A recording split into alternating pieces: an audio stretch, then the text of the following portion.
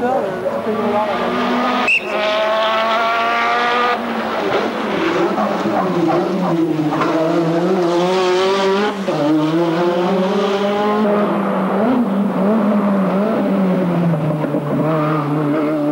Cyril Garcin sur ce coup-là n'a pas fait dans la dentelle, raflant tous les meilleurs temps, laissant Siro sur la 306 à 16 secondes.